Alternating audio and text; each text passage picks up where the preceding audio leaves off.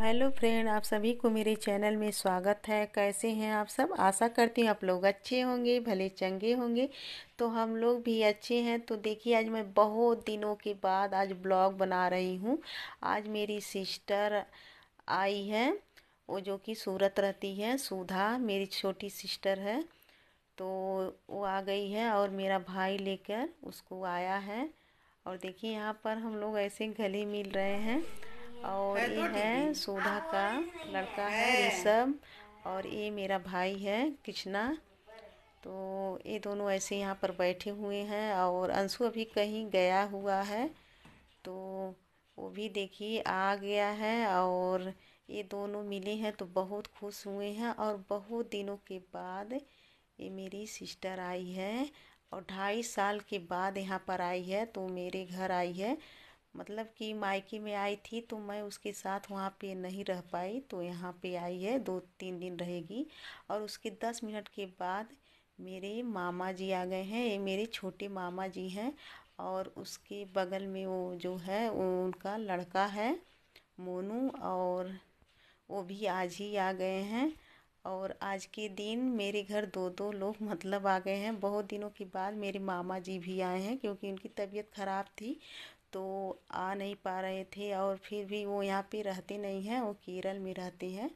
और ये मेरी सिस्टर मतलब उनसे बातें हम लोग बैठ के ऐसे कर रहे हैं क्योंकि बहुत दिनों के बाद वो भी मिले हैं।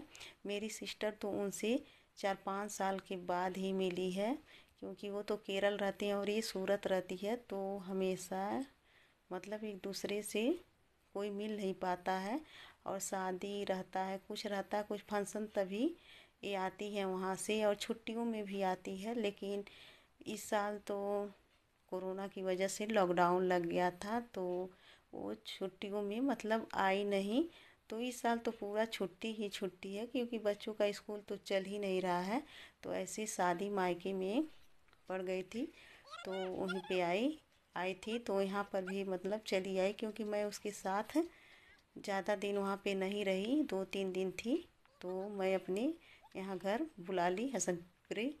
और ये देखिए, यहाँ पर आराध्या बहुत मस्ती कर रही है। और हम लोग ऐसे छत पे आ गए हैं, ऐसे थोड़ी देर बैठने के लिए, क्योंकि थोड़ा बहुत धूप है तो ठंडियों में, धूप में तो बहुत ही अच्छा लगता है। इसलिए ऐसे हम लोग छत पे आ गए हैं।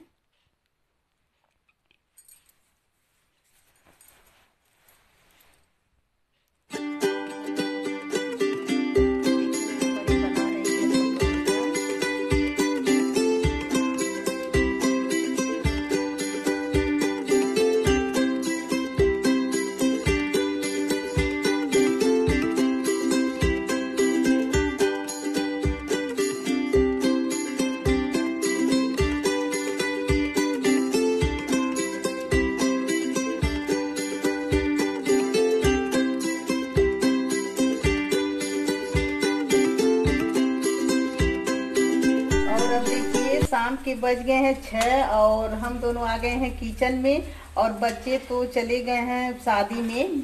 मम्मी जी के मायके में शादी थी तो वहाँ पे वो सभी लोग चले गए हैं पापा जी के साथ। और हम ही लोग, दो लोग हैं, सुधा और मैं हूँ। तो यहाँ पर ये बना रही है, पकौड़ियाँ बना रही है आलू गोभी की। और ये भी बोलेगी, मुझे आती ही दीदी मुझे पकौड़ियाँ बनाने के लिए लगा दी। बन गया है। अब बच्चे चले गए कितना सोना लग रहा है ना? हाँ। निकाल लेते हो गया निकाल दो। उसमें नहीं दूसरा दूसरा दे रहे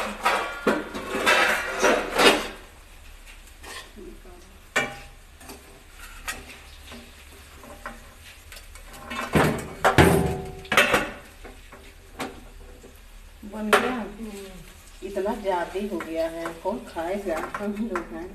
यही खा के सो जाते हैं। खाना पूरा बच जाएगा। हाँ, खाना खाना ही नहीं पड़ेगा यही खा के पेट भर जाएगा। ज़्यादा हो गया। बना था तीन लोगों का ऋषभ चला गया। हम्म। पूरा।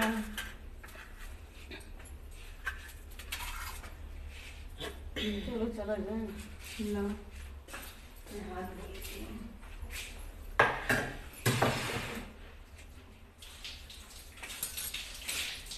पानी गर्म होने के लिए रख दूँ। इतना ठंडी में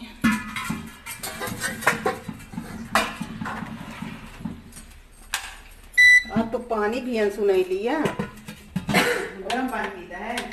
हाँ गर्म पानी। जैसे पानी वाला है तो अंशु था नहीं तो लिया नहीं।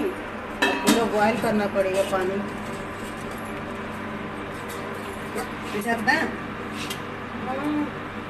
हाँ, नीचे हाँ नीचे है। इससे। नहीं नहीं उसे नहीं उसे नहीं।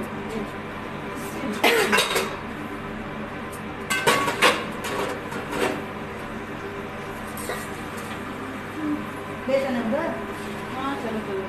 रूम में? हाँ रूम में। बंद है ना? अच्छा उधर तो बंद कर दो दरवाज़ा वाला।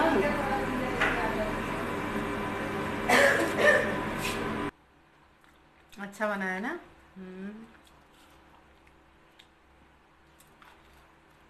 आप लोग नहीं खाएँगे हम लोग खा रहे हैं गर्मा गर्म भजिया। अंजू को भी खिला दूँ। हाँ अंजू रहती वो भी खाती ना। हम्म।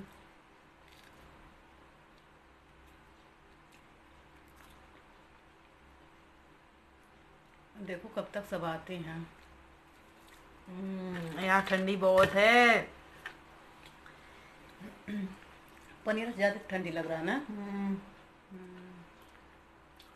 पनीर वो सब चल और हम लोग ऐसे बातें कर रहे हैं और पकौड़ियाँ खा रहे हैं और बच्चे तो हैं नहीं।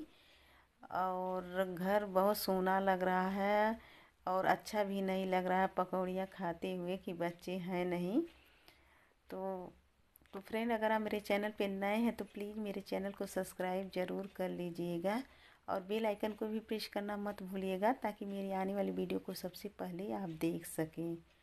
तो अब वीडियो को मैं यहीं पर ख़त्म करती हूँ और नेक्स्ट वीडियो मैं फिर मिलूँगी। तब तक के लिए बाय बाय